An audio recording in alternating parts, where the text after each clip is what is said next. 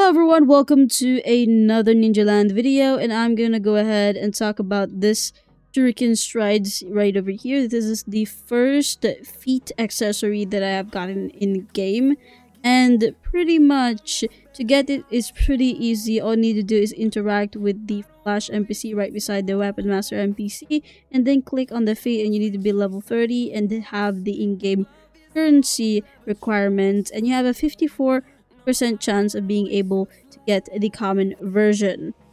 Now that you know that, let's go ahead and look at it itself. You can see here that this one here increased max chakra, which is once again very good, depending on what type of uh, jutsu you are using. So if you see here that I have 600 uh, max MP, or just generally chakra, then this is going to help because it increases its the let me unequip as you can see 290 with this thanks to this i'm able to have a lot more mp than before.